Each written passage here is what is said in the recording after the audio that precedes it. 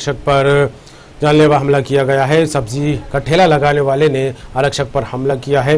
आरक्षक करवा रहा था कोरोना कर्फ्यू का पालन। वारदात के बाद आरोपी मौके से फरार। घायल आरक्षक को मेडिकल में भर्ती कराया गया है। पुलिस आरक्षक पर जानलेवा हमला, सब्ज़ी का ठेला लगाने वाले ने किया चाकू से हमला। आरक्षक करवा रहा था कोरोना कर्फ्यू का पालन। जबलपुर से खबर है, वारदात के बाद आरोपी मौके से फरार हो गया है।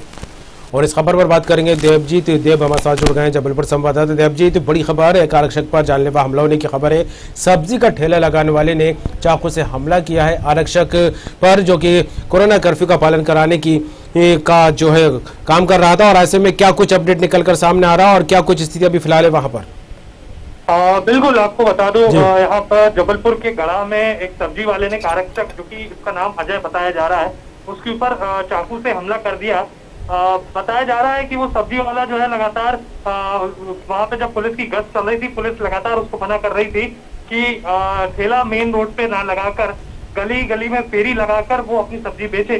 पर वो नहीं मान रहा था जब बार बार उसको पुलिस आरक्षक समझा रहे थे। फ़िलहाल एक आरक्षक जो गला में पदस्थ है, अजय नामक है, वो उसने जब उसको उतर कर वहाँ मना किया तो काफ़ी आक्रोशित होकर वो सब्ज़ी वाले ने उस पर चाकू से हमला कर दिया। फ़िलहाल चाकू उसके सीने में लगा है और उसको उपचार के लिए आरक्षक को तत्काल जबलपुर के मेडिकल में भर्ती कर दिया गया। जी। फ़िलहाल आरक्षक की क्या कुछ स्थिति है? इस पूरे मामले को लेकर पुलिस प्रशासन का क्या रुख देखने को मिल रहा है देवजीत? आरक्षक की अभी हालत जो है वो फ़िलहाल तो ठीक बताई जा रही है क्योंकि उसके लिए तुरंत उसको उपचार के लिए मेडिकल भेज दिया गया था।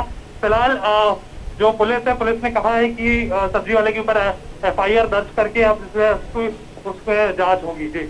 चलिए, तमाम के लिए आपका शुक्रिया देव जी। तो ये खबर जबलपुर से, जहाँ पुलिस आरक्षक पर हमला किया गया है, सब्ज़ी का ठेला लगाने वाले ने चाकू से हमला किया, आरक्षक को अस्पताल में भर्ती करा दिया गया। हालाँकि हमला करने वाला सब्ज़ी विक्रेता फरार है